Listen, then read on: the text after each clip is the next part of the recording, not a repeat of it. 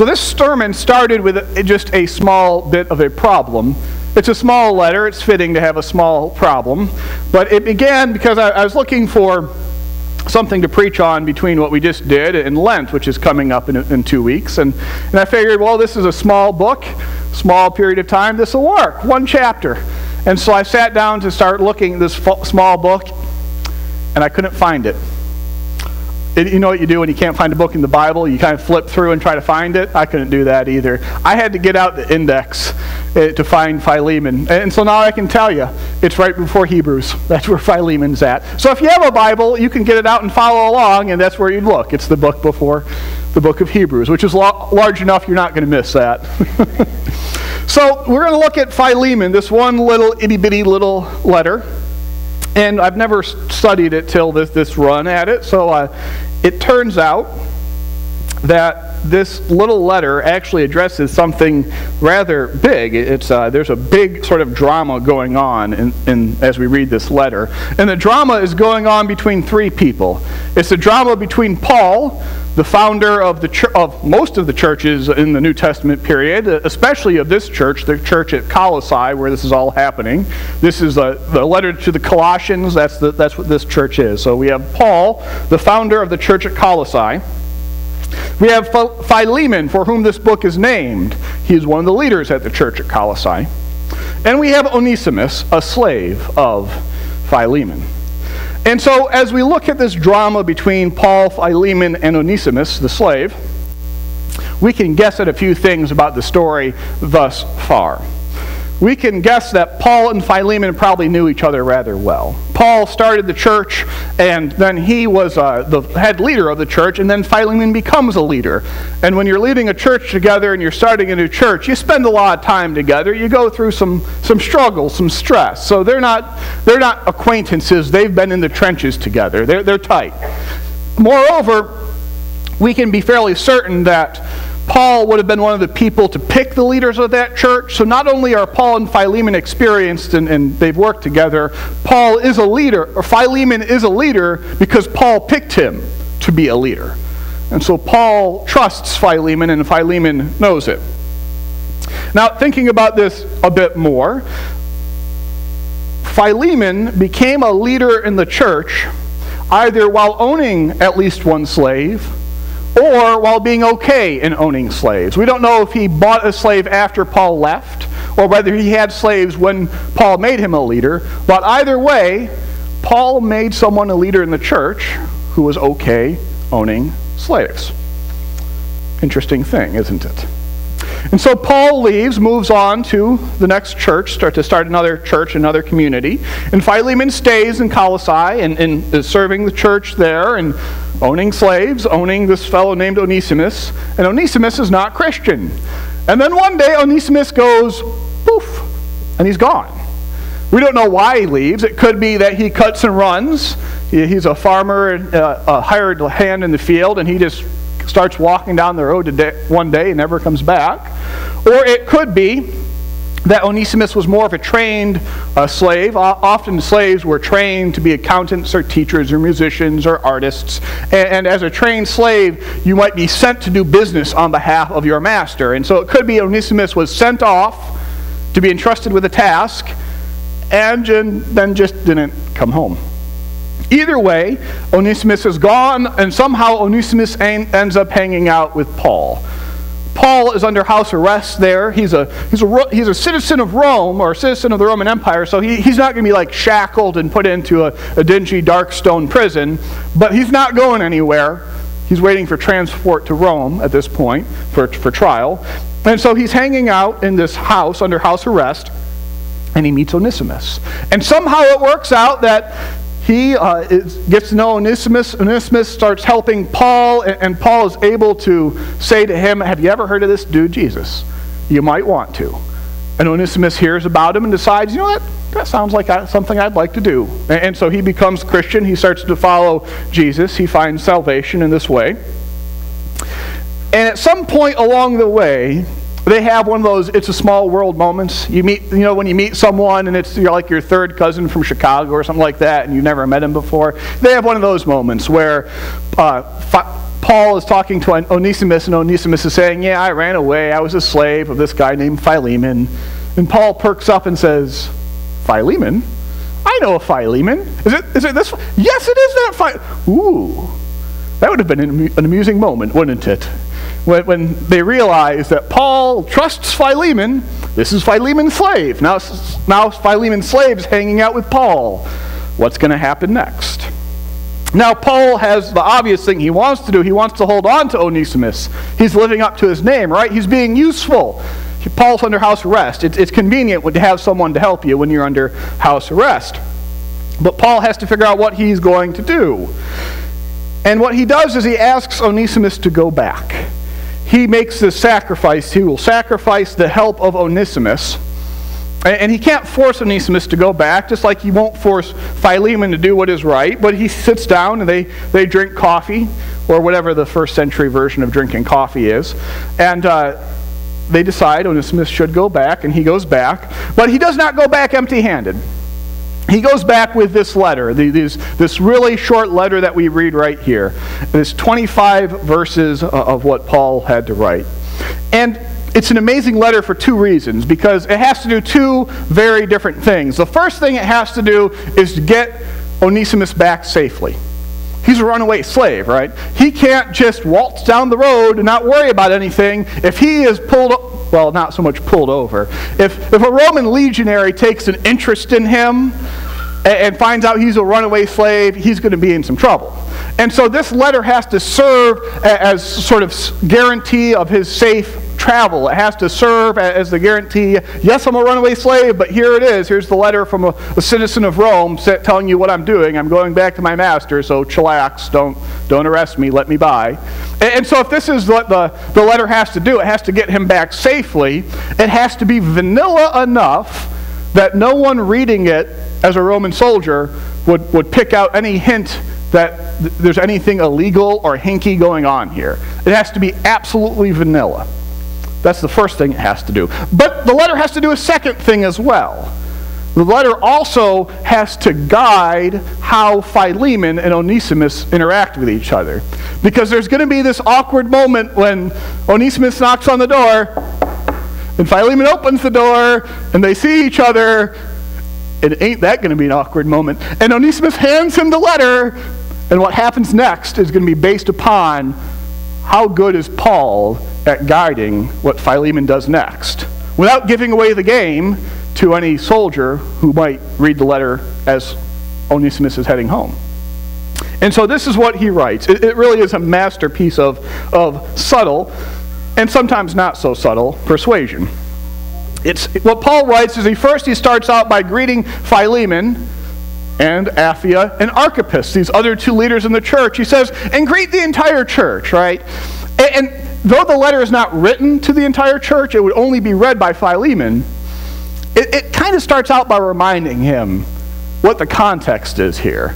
It's like walking up to someone and saying, hey, mayor, or hey, officer, or hey, teacher, instead of saying the name. If someone walks up to me and says, hey, pastor, as opposed to saying, hey, Andy, that sets off a different response, doesn't it? If you're coming to me and saying, hey, pastor, you're reminding me you're a pastor, Andy, get ready to be pastoral. Whereas if you come up and say, hey, Andy, you might get a little bit different of a response. That's what Paul's doing here. Hey, hey, leader in the church, you're a leader. Now let's talk about this. And then Paul becomes very gracious. He says, You know, I remember you and my prayers, how good you are to other Christians and how much you serve. And, and it's just wonderful how wonderful you are. He, he is buttering him up, he is being gracious himself so that Paul can then turn it on Philemon and ask Philemon to be equally gracious in just a few minutes. And then Paul brings up the real issue. He says, You know, I've sent you Onesimus, I've sent you this, this slave, and I can tell you what to do, but I'm going to ask. You know me, Paul, little old me. I'm in jail, an old man in jail. You couldn't say no to me, right? He's turning on the pity fountain, right? He's, you can't say no to a little old man in jail. It's like your grandpa saying no to your grandpa. It's hard to do. And, and he continues saying, you know, Onesimus, he's living up to his name. He's being useful. He's being really useful. He was useless to you, he was useless to me, but now he's being useful because he follows Jesus with us. He has become very useful. And Paul says, you know, and I'd love to keep him with me because he's just so very, very useful. Just he, he is serving me just like you used to serve me, Philemon. Remember those days back when you used to serve me and we were serving the church together? That's what Onesimus is doing here with me right now. And that's got to start messing with Philemon, doesn't it? Because now instead of seeing Onesimus as a slave, he's starting to see him as another leader in the church, which is not something Philemon's ever seen before. But Paul adds, you know, I, I wish I could hold on to him, but I don't want to force you into doing something, even if you should. I'm not going to force you into doing it. And, and this is sort of the subtlety of the argument. It's, it's like if one of you owes me $100 and I find a $100 bill with your name on it what do I do? Do I hold on to it because you owe me $100? Or do I give it back to you, knowing that you should immediately turn around and give it back to me? That's what Paul's doing here. You know, you owe me. You owe your salvation to me. You owe me everything.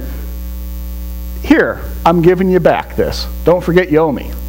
And so he hands Onesimus back to Philemon and continues and says, you know, maybe this, maybe this is why he ran away. This, maybe this is God's plan. He ran away so that he might meet me and become useful. He might meet me and decide to follow Jesus.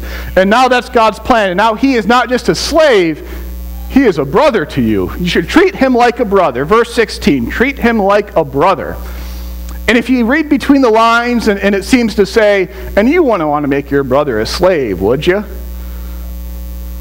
Would you? so if you consider me your partner, if you consider me Paul to whom you owe everything, welcome Onesimus as you'd welcome me. Welcome him as if you'd welcome me, Paul. If I showed up the way you'd roll out the red carpet and put on a big fellowship meal and have a big celebration, treat Onesimus in the exact same way. This echoes back to verse 7. Remember when he talks about how gracious Philemon is, and he, he sort of tells Philemon, it's, how, it's wonderful how well you treat fellow believers. Oh, look, here's a fellow believer. I hope you, I hope you treat him well. There's one last thing Paul says about this, and it, it becomes the most important statement in the entire book. He says, If Onesimus owes you anything, I'm writing a blank check to cover it. Now, isn't that a statement, right? He says, See, I write this in my own hand. If he owes you anything, if he ran off with money, I'll cover it. If, if you feel like you've lost something because of Onesimus's value, if it cost you so much money to buy him, I'll cover that. If you feel like you've lost money because he hasn't been working for you and you've lost something, I'll cover that because I'm going to sacrifice what it takes so that you can see him as a brother, not as a slave. This is the moment when the gospel comes through in this letter. Because the gospel is that Jesus sacrificed himself for us, for the good of others. And this is the moment in which Paul practices the gospel. If there's a debt here, I will sacrifice to cover it. And when Paul makes that move, I will pay this man's debt, he's inviting Philemon to do the same. I have made my sacrifice. Now it's time for you to follow Jesus and make yours. You had a slave could you make the sacrifice and instead have a brother? And so after this, we have some closing comments. I'm going to come and see you. Keep on praying for me. Grace and peace be with you and yours. And then that, that's the end of this little letter. Far from being some sort of throwaway letter, a mere afterthought, something we can just skip by and, and something hard to find but easily overlooked. What we find in this letter is that it is a practical example of how the gospel works in everyday life. One person offering a great sacrifice, I will cover his debt, Paul says, making that sacrifice for the good of another, and then inviting someone else to do the same. If Philemon is willing to sacrifice in the same way that Paul is, imagine what can happen next. And the biggest challenge then for Philemon after he reads this letter is a challenge of imagination. It's a challenge of imagination because what has Philemon seen whenever he's looked at Onesimus? Right? He's seen a tool. It's like he bought a car. It's like he went to the lot and he sized up the tools, the cars he could buy. He said, well, low mileage, good shape, I'll buy that one. And he brought Onesimus home and he used him like a tool. You give him an oil change every once in a while, you make sure, I mean, but you don't really. You, Philemon has been seeing Onesimus as a thing. And what Paul has invited him to do is see Onesimus as not just a person, but a brother, a brother in Jesus Christ. And so the challenge for Philemon is can you imagine seeing Onesimus as something different than you've seen him before? And that becomes one of the biggest challenges of this letter for us. Can we imagine seeing people differently than we usually do? You know, we all have these caller IDs on our cell phones. And, and you know the person, you pick up your cell phone and you see that name and you think, ugh. Can you imagine smiling when you see that number instead? Can you imagine the person you least want to have walk into the room? Can you imagine the, a time coming when you would stand up and wave them over to sit with you? If you can think of the person that you, uh, you would never trust, can you imagine a time when you would hand them your credit card? Strikes close to home, doesn't it? can you think of a person you've never seen as an adult? Can you imagine a time when you would follow them, not just as a, a companion, but as a leader? That's a challenge, right? To imagine seeing people differently.